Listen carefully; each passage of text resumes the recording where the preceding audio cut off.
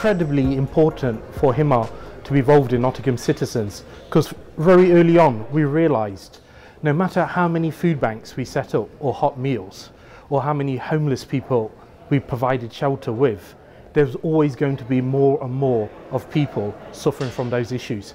And we wanted to break the dependency relationship. And the only way we were going to do that is like Bishop Tutu said, when you are pulling people out the river, look upstream to see what's pushing them in. It's about policy. It's about decisions that are being made by politicians in Westminster, locally, who have an immense impact on the day to day lives of people in the communities that we serve. And we couldn't do that by ourselves. No one's going to listen to a handful of Muslims. So, by working together with churches, mosques, synagogues, trade unions, schools, universities, and other NGOs, together we combined and become more powerful. Everyone hears our voices, and that's how we build power, and that's how we're going to create change.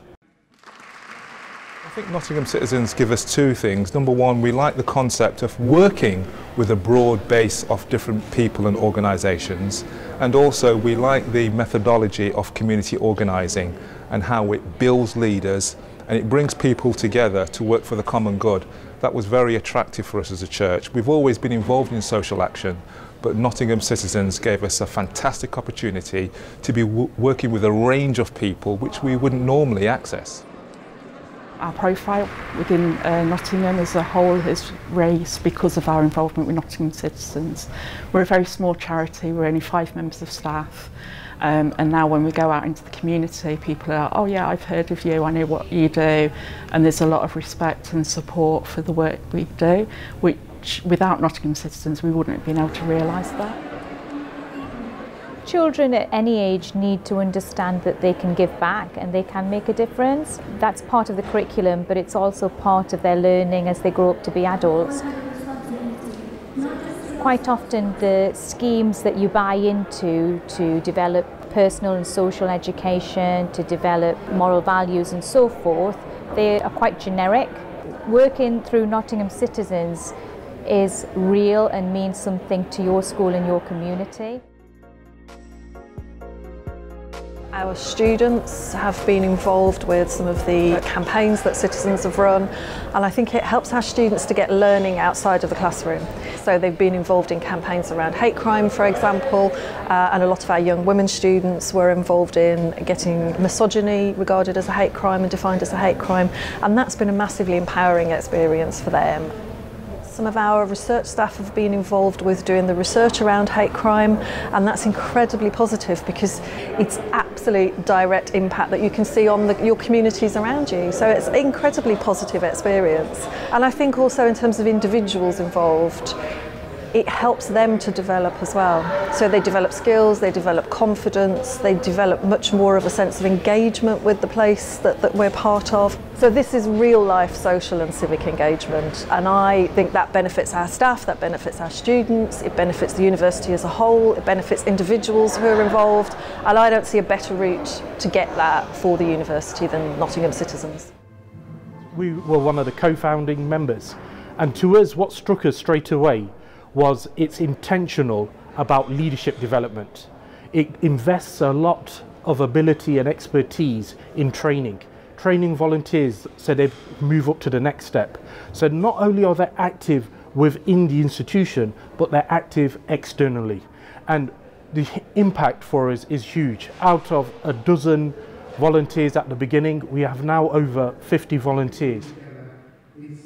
Nottingham Citizens has actually helped our organisation to actually feel uh, proud, uh, to feel that uh, you know we're a part of a bigger enterprise, really, and that enterprise is really standing for justice, having a fairer and a better Nottingham. I would encourage, um, particularly Muslim organisations, to join this. Uh, one for unity and strengthening themselves, empowering themselves uh, and you know, getting their staff to be better trained as well in how to do compassionate public work.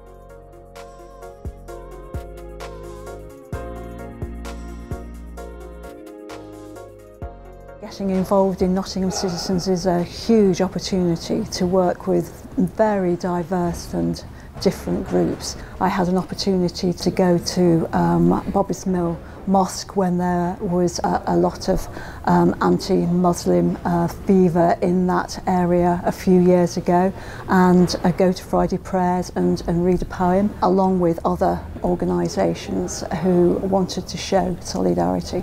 So where else would you really get an opportunity to meet and get involved with people from such diverse backgrounds uh, but actually come together with a, with a common voice about a common issue.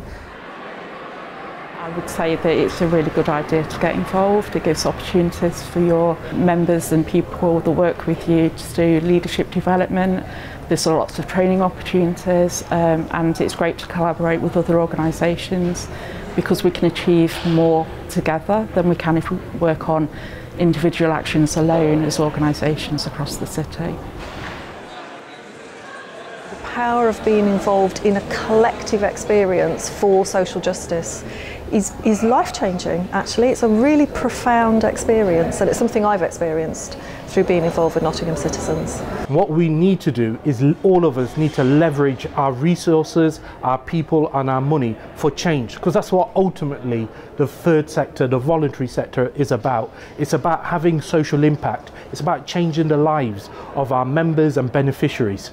And the only way we can do that is by converging, by working together, having strategic visions, and having the means and a methodology to deliver that change.